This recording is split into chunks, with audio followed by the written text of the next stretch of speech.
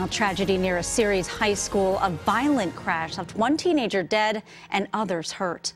Police saying staying tight-lipped tonight. Witnesses tell CBS 13's Rachel Wolf the crash happened during a drag race. They started hitting the motors like it's the canal water over there, across right there.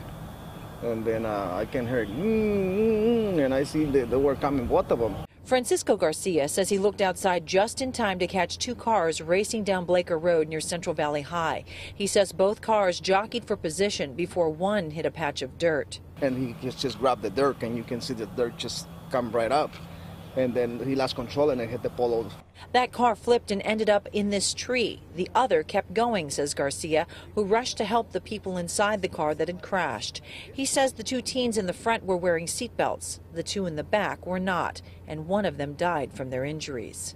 I find it quite scary because we're right in the corner. Jessica Nava says this isn't the first time cars have been drag racing near there. It uh, occurs during the day and nighttime. In fact, we witnessed two cars speeding up Service Road near the scene of the accident while we were there. Nava is grateful her children were not outside or that she was not pulling out of her driveway. Garcia agrees. Imagine if somebody was going this way, you know, both of them coming in that, that fast. Ceres High School has canceled an every 15 minute program scheduled for tomorrow, which teaches students about the dangers of drinking and driving. It's still unclear whether alcohol or drugs played a role in this crash.